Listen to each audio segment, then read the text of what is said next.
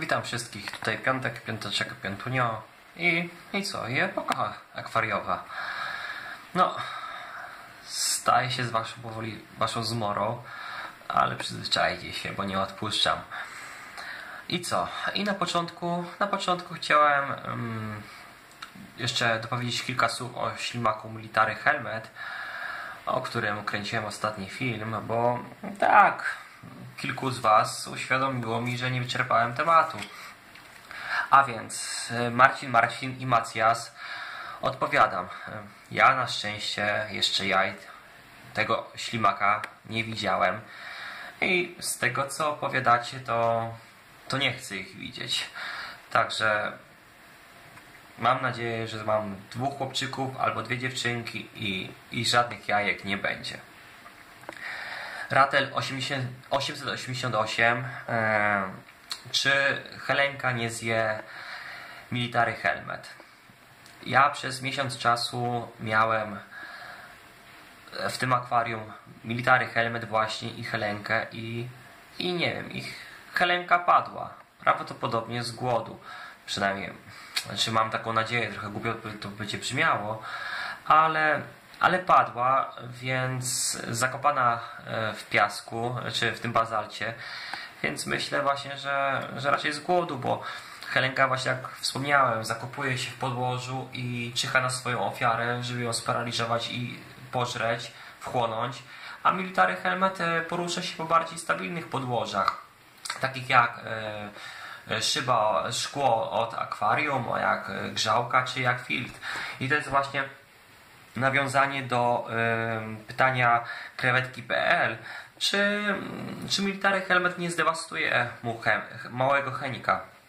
Ja swojego military wrzuciłem wprost na Monte Carlo, no, zanim się tam rozruszał, przyzwyczaił, wszystko, tak troszeczkę wyszedł z tego szoku, to pobłądził po tym Monte Carlo, postał Rugynę Repens i wszedł sobie na szybę, także tym roślinkom nic się nie stało. Fakt faktem, one mają bardziej rozwinięty system korzeniowy niżeli właśnie Heniek, mały czy duży, ale, ale ja u siebie nie widziałem żadnego military na żadnej z roślinek, więc nie, nie zdewastuje. Jeśli tylko tam na chwilkę będzie, to sobie pójdzie spokojnie i, i właśnie będzie grasował po szybach, po korzeniach, skałkach, ale nie, nie po roślinkach. Także nie liczcie, że Wam wyczyści roślinki z glonów.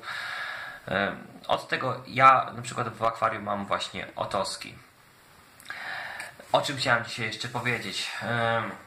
No, tak, widzicie, to akwarium zaczyna w końcu jakoś wyglądać. Na początku, jak prawie dwa tygodnie temu kręciłem ten filmik, to szału nie było. Teraz może szału też nie ma, ale jest, ale jest dużo lepiej niż było na początku.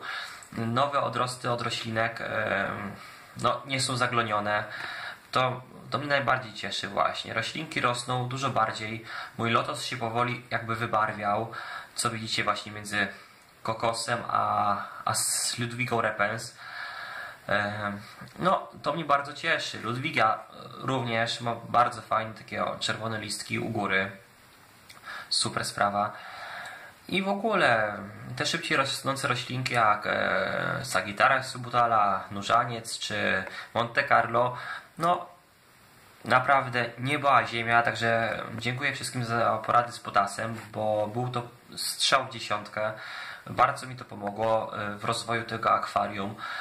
E, mam nadzieję, że też to akwarium się stabilizuje, że powoli to wszystko tak dochodzi do normy, ale, ale naprawdę ten potas wiem, że, że był naprawdę potrzebny. Teraz bez żadnych testów, po prostu tak na chłopskie oko mogę stwierdzić, że no, bez tego ruchu byłbym zmuszony do restartu, a tak to mogę nadal e, wziąć, kombinować w tym zbiorniku.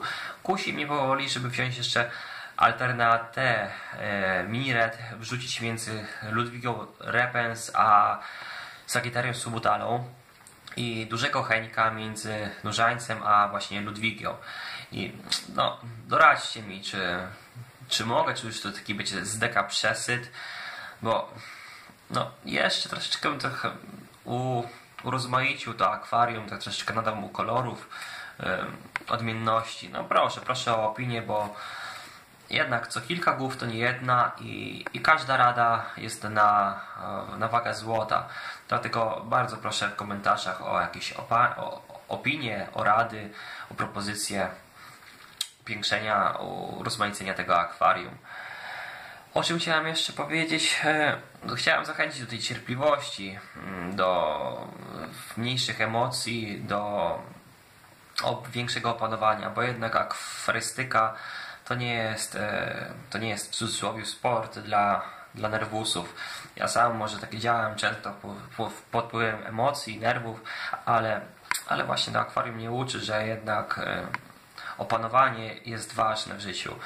I w akwarystyce tym bardziej, dlatego nie zniechęcajcie się, jeśli Wam coś się nie będzie udawało, bo wystarczy spojrzeć na ten zbiornik e, z mojego pierwszego filmiku, mm, gdzie to wszystko było takie zaglonione, paskudne, a teraz, teraz też nie jest, tak jak mówiłem, szałowe, ale jest dużo, dużo lepsze, dużo fajniej to wszystko wygląda. O czym chciałem jeszcze powiedzieć? O tym, że Aquamaniak, e, Aqua, przepraszam, Aquapsychol pisał, że gałęzatka kulista może zarażać sobą jakieś inne roślinki i, i, i, i, i nie wiem, i posłuchałem jego rady i usunąłem swoje trzy kuleczki. Sprzedałem je w zoologiku i, i nie wiem, czy to pomogło, czy nie pomogło, ale tak, pisał nie zaszkodziło na pewno, więc dostosowałem się również do rady i, i wyrzuciłem, bo jak wiadomo są to glony i, i glonów lepiej nie trzymać w akwarium.